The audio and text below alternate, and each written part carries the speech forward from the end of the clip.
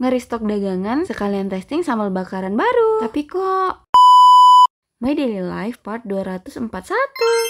Jadi ya, pagi ini aku tuh lagi ngantri buat beli ayam. Tadinya mau ngerekam banyak video di pasar, tapi karena aku lupa, besok tuh mau lebaran Idul Adha. Jadi di pasar tuh super rame, macet, riwah juga. Makanya nggak jadi aku ngevideoin banyak di pasar. Jadi videonya aku lanjutin pas aku udah di rumah. Yang pertama kali aku bikin seperti biasa itu tahu bakso. Karena kalau bikinnya belakangan aku tuh suka lupa. Kadang tuh adonannya udah selesai jadi bakso semua. Aku baru sadar kalau tahunya tuh udah aku siapin. Kayak biasanya ini adonan baksonya aku giling di pasar ya guys, pakai ayam yang aku beli tadi. Cuman nggak tahu kenapa adonan bakso aku hari ini tuh putih banget. Kayaknya tukang gilingnya lupa tambahin kecap deh. Kalau kalian lihat ini tuh dikit banget. Ya karena freezer aku tuh sempit banget guys. Sedangkan kalau nggak disimpan di freezernya tuh nggak ketahan lama. Oh iya maaf ya jangan salfok sama baju aku yang pendek lengannya. Karena kalau lagi kerja kayak gini tuh enakan pakai baju lengan pendek. Dan ini aku lagi nambahin air karena aku mau siapin untuk masak sempol nih guys. Masih sama kok caranya pakai plastik kayak gini. Dan kali ini sempolnya tuh agak aku gedein dikit dari yang kemarin. Untuk sempolnya aku bikinnya nggak terlalu banyak banyak karena adonan baksonya juga tinggal dikit jadi harus dibagi-bagi deh dan alhamdulillah untuk sempolnya ini udah mateng jadi tinggal aku angkat aja aku tirisin dulu terus aku mau lanjutin untuk bikin baksonya sebenarnya masak ini tuh cepet banget guys semuanya yang bikin agak lama itu karena aku mindah-mindahin kamera HP dan tak terasa akhirnya bakso aku juga udah mateng pokoknya tetap harus ditirisin semua habis itu aku lanjut untuk siapin bahan-bahan untuk bikin cilok ya untuk bumbunya masih sama aja ya guys kalau ada yang nanya resep aku tuh juga nyontek di tiktok jadi tinggal buka di pencarian aja ya.